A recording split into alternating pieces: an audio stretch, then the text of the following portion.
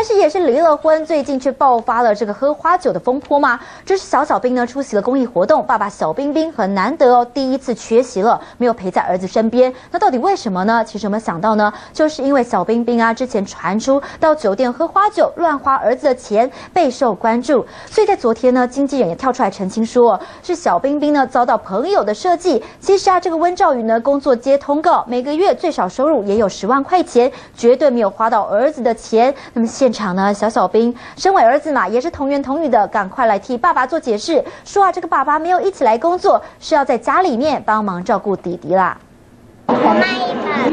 穿着一身休闲，小小兵向街头民众募款做公益，笑容很少，似乎不太开心。总是陪在他身边的父亲温兆宇，这一次却不见人影。为什么这样说？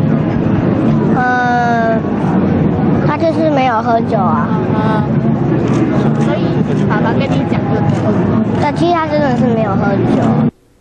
只有经纪人陪同爸爸温兆宇缺席儿子的工作，全都是因为不久前遭人爆料，看到温兆宇到台北知名的酒店饮酒作乐，却被批评六岁的儿子辛苦工作，爸爸却乱花钱。温兆宇没现身说明，只透过经纪人澄清自己也有工作，再加上通告月收入最高可以赚近十万元，绝对没花儿子一毛钱。啊，我研判应该有被他朋友拍到了，拍到了，因为有一。点点设计的感觉，不是被定足了，是他他要陪弟弟啊。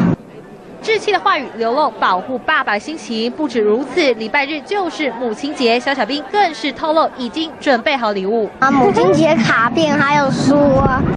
人气爆红的小小兵父子一举一动都受到关注。中央新闻林东明、潘兆文台北报道。